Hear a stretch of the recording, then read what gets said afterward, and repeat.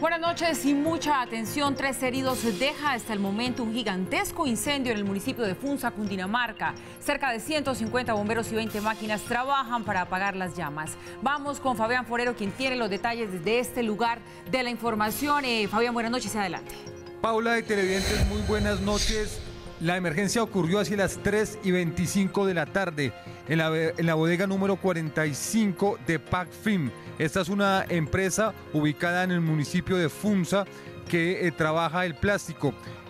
La explosión ocurrió en una máquina inyectora de plástico. Hasta ahora el reporte de las autoridades da cuenta de tres personas con quemaduras. Las llamas alcanzan en ese momento los 20 metros de altura y el humo inclusive se vio desde el centro de Bogotá. Este es el reporte oficial que entrega a esta hora el cuerpo oficial de bomberos de Cundinamarca. Eh, al momento tenemos tres personas lesionadas, las cuales fueron remitidos inicialmente al hospital de Engativá, las cuales tienen o presentan eh, quemaduras de primero y de segundo grado.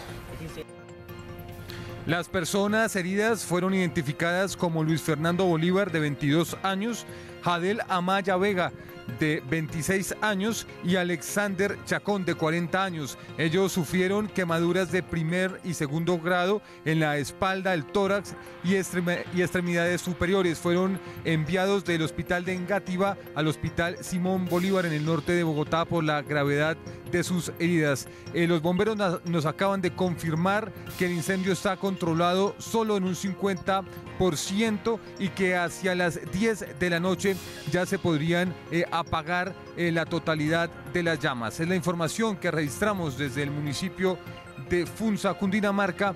Fabián Forero, Red Más Noticias.